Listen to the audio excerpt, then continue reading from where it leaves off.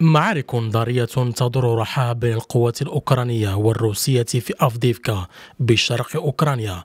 وتشير المعطيات الميدانية القادمة من هناك إلى إحراز القوات الروسية تقدما كبيرا في المواجهة الدائرة إذ أصبح سقوط المدينة في يد الجيش الروسي مسألة وقت فقط. وشهدت المواجهات الدائرة للسيطرة على المدينة الصناعية الواقعة على بعد 20 كيلومترا شرق دونيتسك في الأيام الأخيرة تصاعدا ملفتا حيث نفذ الجيش الروسي عمليات قصف مكثفة وتمكنت القوات الروسية من اختراق الدفاعات الأوكرانية لا سيما في الجهات الشمالية والجنوبية. وساهمت عدة عوامل في تقدم الجيش الروسي.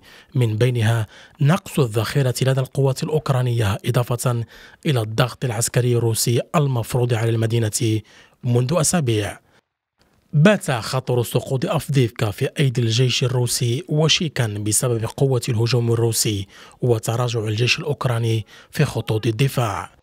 من جانبها السلطات الأوكرانية تقر بصعوبة الوضع العسكري في المنطقة.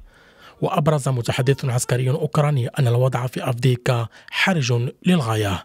وضع صعب إذا دفع الجيش الأوكراني لإرسال تعزيزات.